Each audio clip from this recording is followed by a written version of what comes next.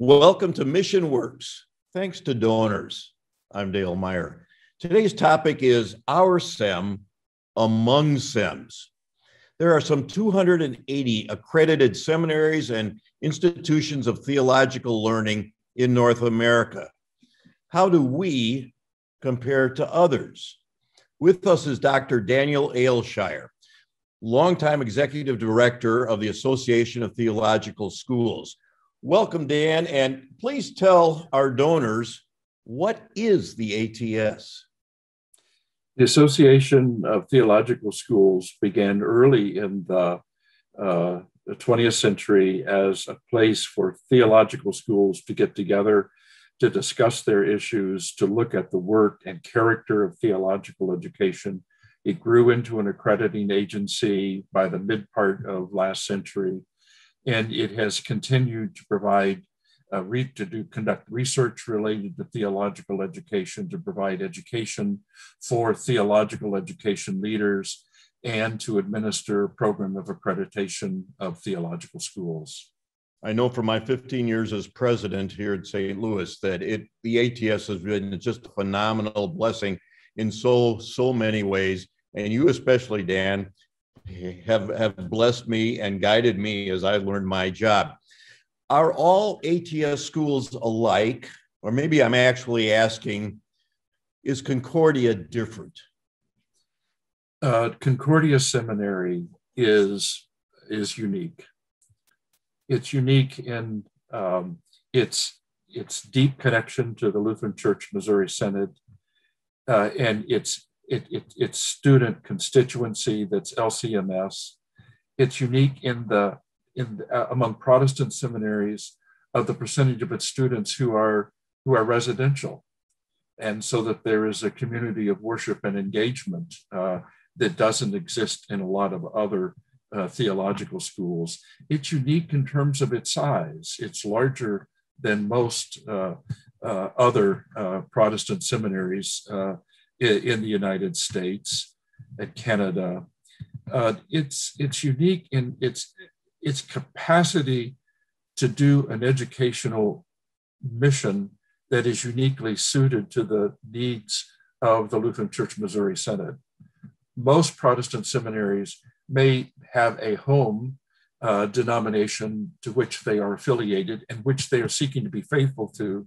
But while they're being faithful to that, they're also trying to provide education for folks from 15 other uh, denominational families and trying to do that with integrity. That's very hard work. It, it, and it, it, it, it provides for a general way of educating for ministry, but it, it, in a school that's so tightly related to a denomination, you have the capacity of, of educating in a very particular way for a particular uh, community of Christians. I have to confess that I've been naive most of my life. And it was not until I became president that I, I came to realize how unique Concordia Seminary is. So thank you for that. Uh, we're speaking in this program to our donors. Is financial support a challenge for ATS schools? The, the long history, Dale, is that most Protestant seminaries were, for the most part, funded by their church bodies, that they're sponsoring church body. What's happened uh, over the last 50 years is that the percentage of the operating budget funded by the church body has declined uh, on a straight linear path. Uh, uh, and to the point that in many Protestant denominations, there's virtually uh, little or no uh, dominant church funding uh, for the for the institution. That means as education has gotten more expensive, the seminaries have had to look elsewhere for uh, for income for, for the revenue they need to accomplish their mission. And the the most valuable uh, resource the schools have are people of faith who are committed to the education of religious leaders and the advancement of their community of faith, the donors to theological schools. The donors have not only replaced, the, the contribution of donors have not only replaced what the church used to give and doesn't anymore, they have exceeded uh, the amount uh, that the church ever, as a percentage of operating budget of most theological schools. The schools don't exist without the support of individual donors uh, who, through long term gifts, through legacies, through current and active gifts, uh, support the work of these schools. I have to I have to verify that from my own experience here. Concordia Seminary St. Louis's annual revenue is about 90% dependent upon donations. Yeah. That might be through endowments, through immediate cash gifts, whatever. 90%. And as a result of that, donors, we guarantee tuition. You call it free, but it's not really free tuition. That $26,000 or so a year for a student's tuition is paid because of your generous support. So I, I, thank you very much. Mission Works, thanks to donors, is the title of our program and how true this is. One last question, Dan. Why are you hopeful about the future of theological education in the United States?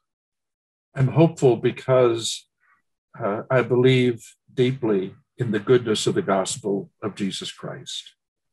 And that this Christian way of being in the world is as wonderful a way for human beings to relate to one another and the world around them, that it is a source of human flourishing uh, uh, from the abundance and goodness of God.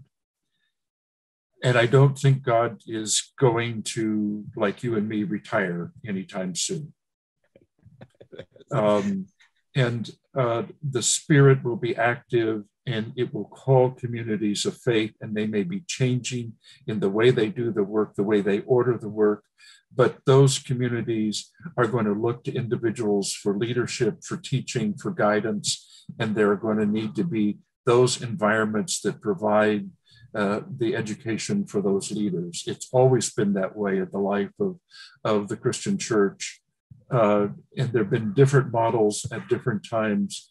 So I am absolutely hopeful uh, that, that the gospel is going to continue to do its good work among us and uh, that communities of faith are going to look to persons to lead, to lead them, to guide them, uh, to teach them.